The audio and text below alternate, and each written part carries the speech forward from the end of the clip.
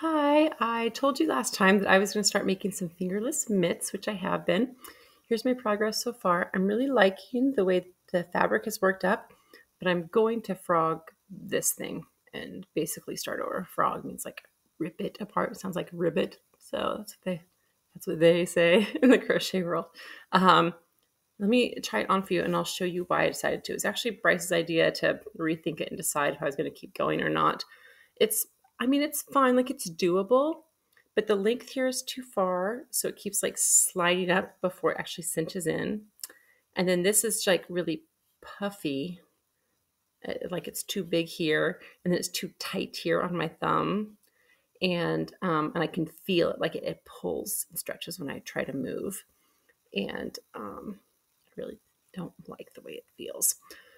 So I'm going to pull it apart. This ribbing is beautiful. I'm going to leave this the the way it is. I'm to pull the whole thing apart. Um, this is my stitch marker in here right now so that it won't come out um, unintentionally, but I'm to I'm to pull it out and show you guys what it looks like.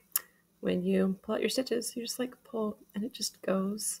You just keep pulling and going for forever.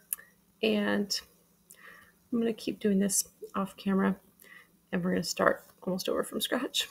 Sad, but very hopeful that the taken notes on the things I didn't like. Hopeful that the finished product will be much nicer and that I'll like a lot more and wear it for a long, long time to come.